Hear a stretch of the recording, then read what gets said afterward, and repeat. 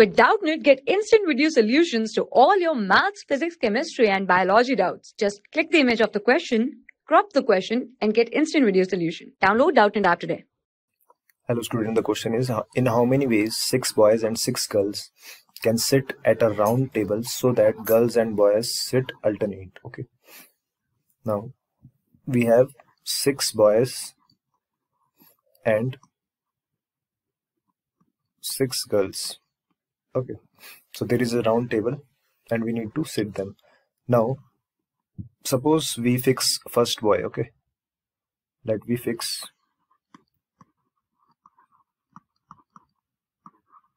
first boy at his place okay? Then suppose this is a round table like this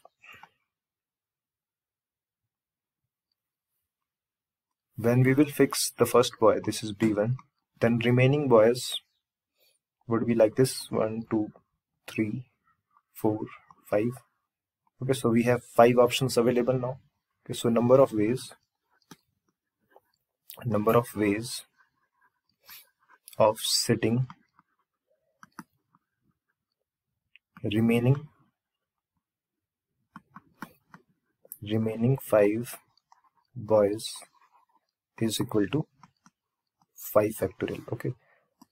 So this is the way by which we will arrange the boys sit in the this round table in 5 factorial ways.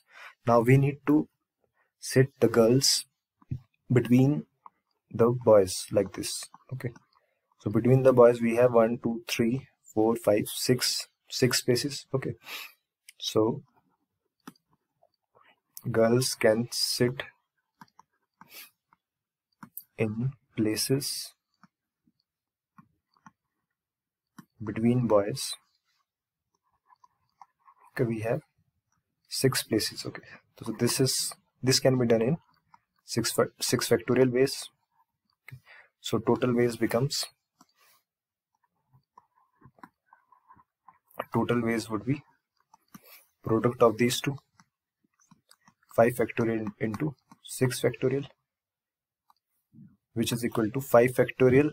5 factorial is 120 this can be written as 6 into 5 factorial which is 120 now 12 into 12 is 144 so this is 144 and 0 0 into 6 which is equal to 86400 so this is the number of ways in which we can sit the girls and boys like this when they would be sitting alternatively.